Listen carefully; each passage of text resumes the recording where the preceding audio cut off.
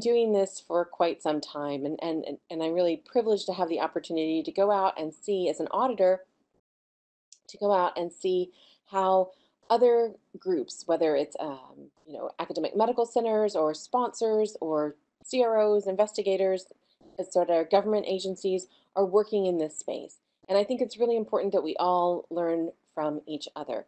So I just had a large group, a very diverse group, doing advanced GCP training.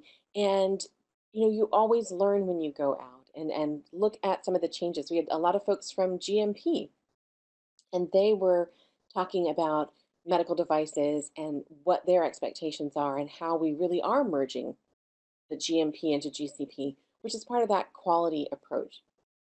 So Michael Marcarelli in CDRH 15 years ago now, uh, just about, said, why are we not taking the quality that we put into manufacturing medical devices under 21 CFR 820 and applying it to clinical?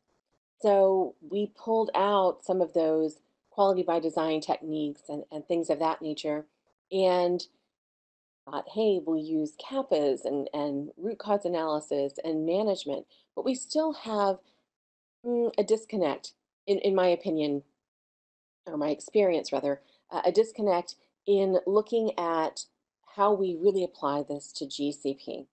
Uh, people that don't really understand it, where people don't really understand corrective and preventive action planning. So we are, it's not just a new note to file, we are using it to build quality in.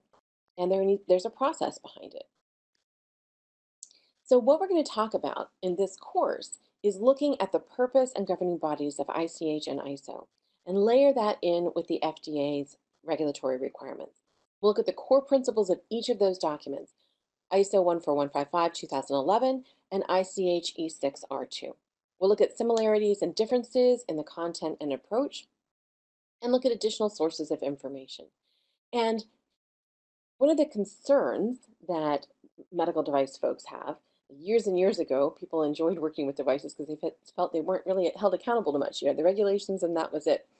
So we have historically, even though we've done medical devices and ICH E6 is written specifically for drugs, we've layered it into what we do. We've put it in our protocols because it is scientific and ethical approach for how we conduct human subject research. ISO 14155 adds yet another layer, and we're going to talk about how they are similar as they stand right now, how they are different, and how they do complement one another. It will be interesting to see how more closely aligned they become or maybe disparate in some areas when we get those updates. So what is ISO? It's a worldwide federation of national standards, and the US is an ISO member. ISO 14155 2011 was adopted as an American national standard, and again, it's good clinical practice for medical devices. How do we apply it? How do we use it?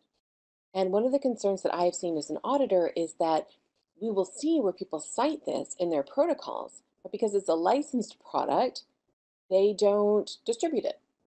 So I've audited multiple studies where it is cited because it is a good standard, but then it is not provided or it is not trained to.